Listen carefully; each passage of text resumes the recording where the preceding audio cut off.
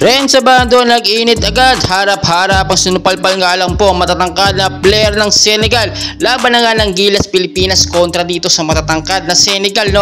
At nakita niyo po first quarter ng game na hirapan ng ating Gilas team na makapuntos ng advantage dito dahil nga nakita naman natin na advantage talaga sa Senegal yung matatangkad na player nila at maliliksi pa. Though wala tayong Kai Soto, walang JC kahit papaano kaya po nila makipagsabayan nakita nyo.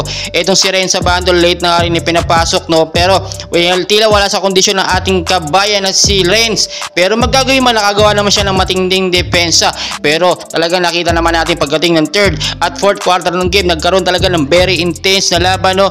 At titindi ng depensa ng Senegal.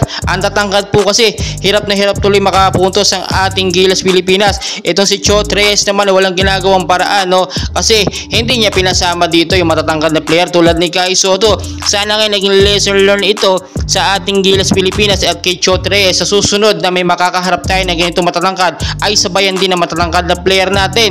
Do meron naman tayo kahit hindi uh, katangkaran average lang kayang-kaya makipagsabayan tulad ni Renz at nila Dwight Ramos no kahit papaano naman ay nakikita natin yung performance nila na nag improve pag ganito ang mga player na kalaban nila ay matatangkad. nag a sila depende po sa laki ng kalaban no at nakita natin maganda ang performance ng Gilas no. Talagang nakipagsabayan sila dito sa Senegal. At nakita natin talagang may laban tayo sa FIBA. Kasi nakita nyo naman no, kung paano nakikipagsabayan do. Talagang may matatangkad pa tayo makakalaban sa FIBA. Hindi lang ganitong katatangkad.